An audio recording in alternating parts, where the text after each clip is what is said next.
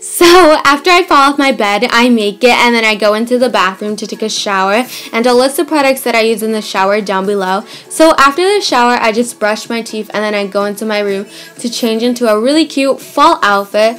So I just have on this crop top from Abercrombie & Fitch and I also have these black leggings from Abercrombie & Fitch as well. And for my combat boots, I got these from Marshalls. And for my hair, I'm just using this Smoothless Pantene Pro V oil and putting it all over my hair. And then I'm taking this tangle free brush and brushing my hair out and putting in this high ponytail. And then onto the makeup. So I just put on this dual action moisturizer by Clean and Clear and then the Stila concealer to uh, take out all my imperfections and then I'm blending it all out with this beauty blender and setting it all in with Studio Mac Fix powder. And then I'm using this clear Great Lash mascara and shaping my eyebrows. And then I use this Sephora blush and put it all over my cheeks. And then I use this palette.